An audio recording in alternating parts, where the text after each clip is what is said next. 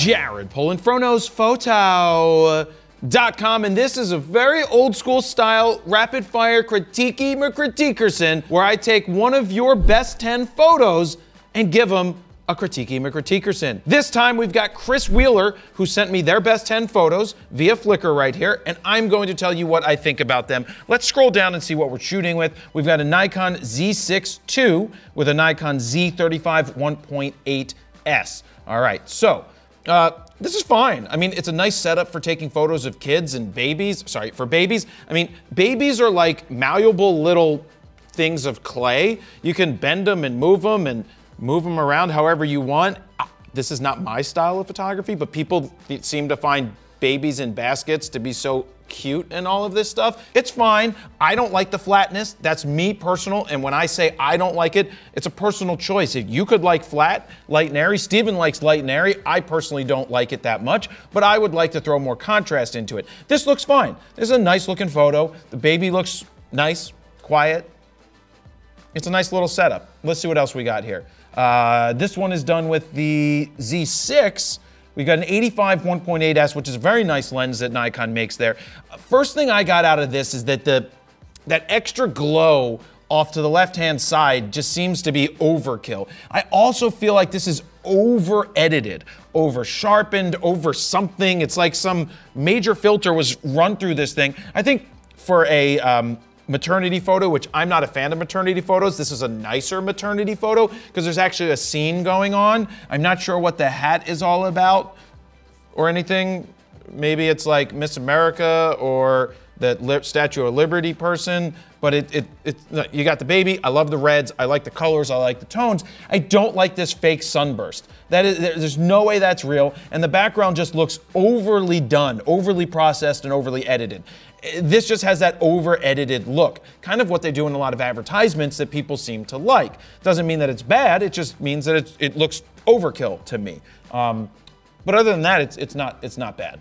Uh, look at me, I'm a sleeping baby. Ah ha ha, I'm a sleeping baby, look at me. Oh, and my hands are all crossed. You know babies don't sleep like that. Um, this is fine. Oh, this one actually has more contrast than the other one, than the first one. I like it better with more contrast. I think that looks very nice. I would probably put more contrast into it, doing it with the 35-1.2. Uh, lighting is good, the scene is good, and this is fine. You know, this is what critiques are about, right? Critiques are, are personal choices. Just because I say it doesn't mean it's right. Just because you see it as being great doesn't mean that I'm wrong for pointing something out. Or if I see something as great and you don't agree, that's perfectly fine. Photography is so subjective. There are some definitives that we get into where you're like, yeah, no, that just doesn't work.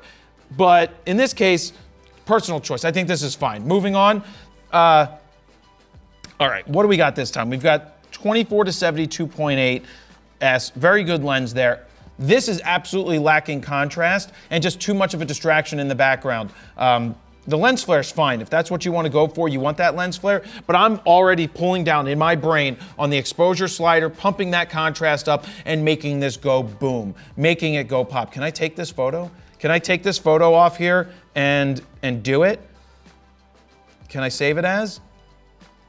No, I can't save it as. I can't click and drag it. I mean, I could screen grab it and do it, but I'm not going to do it right now. So that's what I would like to see. Also, the lines are not straight. You got to get the line straight. The track's going to be straight for the most part. The everything else is going to be pretty straight. You got to line it up. I can see that the angle is slightly off. You can see there's more grass here than there is over here on the left-hand side. So this is something where you have to make sure your lines are going to be straight.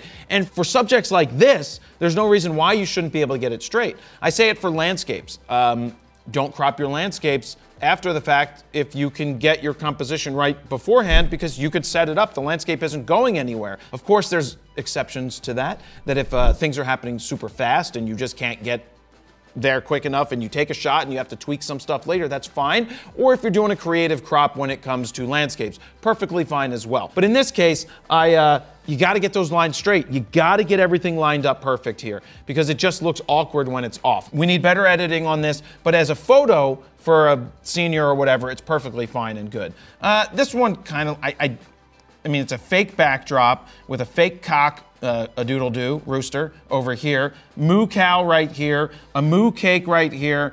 I don't like the colors. It looks too flat to me.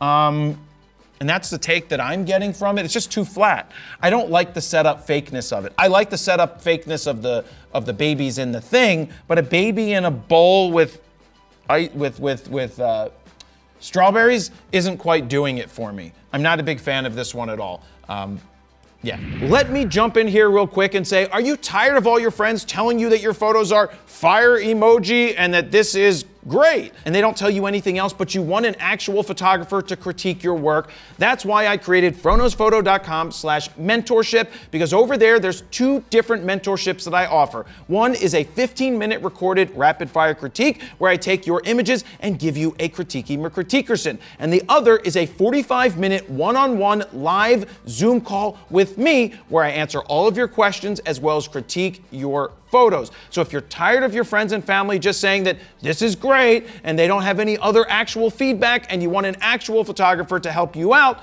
well, go ahead and sign up for one of those options. Now, let's get back to the video. Cheese grin right here, 85 millimeters, 100 ISO. Settings are fine. That's cool. Uh, I, I, I guess. I just think compositionally, compositionally, I would have done more of this type of composition right? I think there's too much headroom there. The main focus here is the, the 22, her smile, and the school that's in the background, but we can see how those lines aren't straight, this extra yellow that's coming up here. If we just compose slightly different, I think we could still have the arrow in there and do something like this. I think that composition sells all day like this, the way that I have it, and that would be a lot better because then the, the, the lines wouldn't be as distracting as up above.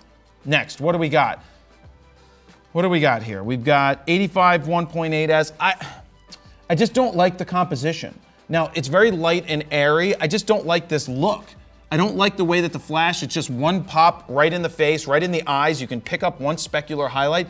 I just don't, I just don't like the feel of it. Um, I am just not a fan of this shot. Too flat, and I'm not saying that it needs to be super duper contrasty, but it just seems to be lacking quite a bit, in my opinion. Um, yeah, I just don't like the lighting. I rather flip her around and use the window light to come in to light the face and be more natural. Um, maybe lean up on the back of the sofa if this is a sofa with the hands resting there. Maybe something along these lines. Don't press, but gently be there. I think that might be a, a, a better option for that photo.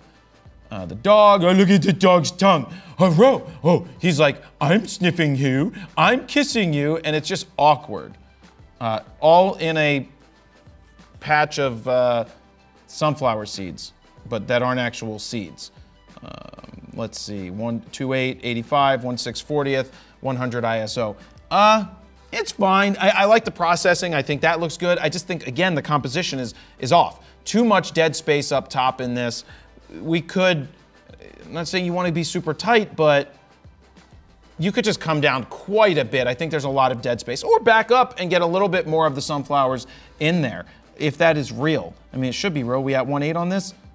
No, we're at 2.8 on this. So I don't know. If, I mean, it has to be real sunflowers. But he looks awkward. He's just like putting his nose up in the dog. The dog's all like, oh my God, I'm in love. Oh my God, this is so good. There's so much love. I love all this love. And I'm like, yeah, it just looks awkward. And then this one is not in focus. This is a classic. Is this a Z6? Yeah. Z6 should never be out of focus like this. There's no reason this should be out of focus unless you're too close. I just think maybe this backlight might have gotten in the way, but nothing in this image is focused at all. So I just think this is one of those, or is his shoulder in focus? It's possible that his shoulder or his number, the chain may be in focus, it just missed. So this is one of those Nikon failures that shouldn't happen with the Z6 that doesn't happen with the Z9. Not to rip on it, but it's just the facts that this backlight throws off that autofocus system and it kind of missed. Um, in terms of composition, we want to get that a little bit more even. This time, you see they're not exactly in the middle. This is the type of image you want to see symmetry right down the middle because it's even left to right, top to bottom. In this case, it's not right? So it's a little awkward. We want to make sure we get that lined up right in the middle. We got to get IAF on, and we got to let that do its job, um, or get a Canon or a Sony in that case, or a Z9, which makes you spend a lot more money. And then finally, this is the last one of the set of 10. We've got a uh, 35 1.8S again. It's fine. I mean, these are great. I think people love these. Parents, I don't have any kids, so I don't know if I would personally love it or not, but I think it works perfectly fine. Right? It's one of those shots. It's something that they'll turn around and remember forever and be like, oh, that's our baby. People love the shots of their babies. They like their maternity stuff. May not be my jam, but I think this is a pretty good set. I think Chris Wheeler is doing a nice job here. I think she's done some nice setups, and I think she's probably getting a good amount of jobs, whether it's high school kids, maybe she's got kids in school, and that's giving her access to do more uh, of those high school portraits uh, that people do, those yearbook portraits that they do uh, senior portraits. I, I, didn't even know that was a thing. I didn't do that in high school. But yeah, I think she's doing a good job with the family stuff, the maternity stuff. I would work on some of the editing just a little bit, a little bit on the composition, but good glass, the body's fine. And that's it, guys. That is a rapid fire critiquing McCritiquerson. Now, if you'd like to sign up for a rapid fire critique, as I said earlier, you can go over to froknowsphoto.com slash mentorship because over there you can sign up for a 15 minute recorded rapid fire critique or a Zoom one on one 45 minute call with me. So thank you guys very much for watching. Jared Polin, froknowsphoto.com. See ya.